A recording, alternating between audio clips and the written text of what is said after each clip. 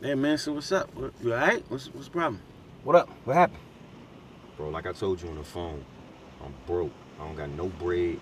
Nothing ain't going right. My rent due. I gotta get my son's school clothes. Wifey complaining, man. She can't find a job. It's crazy, man. Yeah, yeah, she must be desperate if you need calling me for something.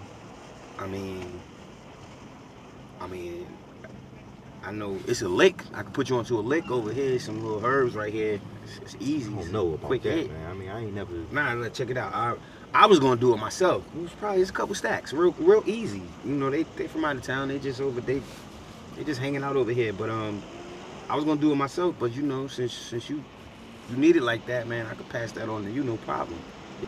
But what if they strap? Hold on, hand me that hand me that piece. Good look.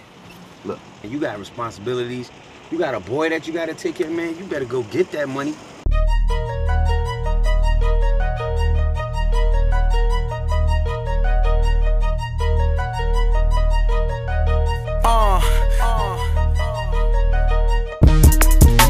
I'm sitting back reminiscing, thinking about everything that comes with this business.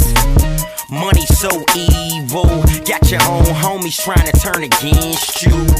Crabs in the barrel need to get from round me. Before I pop the trunk, make them get from round me. Situation got me talking crazy, but this reality, so it's better to face it. Pressure bust pipes, that's a true statement. So I'm applying pressure as I hit the pavement. Trying to make a dollar out of 15. If you a hustler, you understand what I mean. Everything I do represents thorough. Never a follower, a true leader in this world.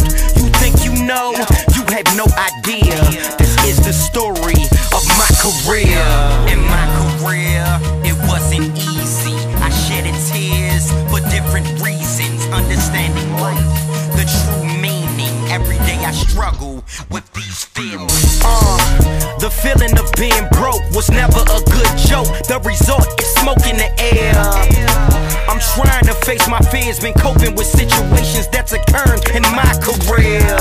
It seems like everywhere I go, all these haters be crowded around for a show, but I'ma give it to them each and every day. I'ma win.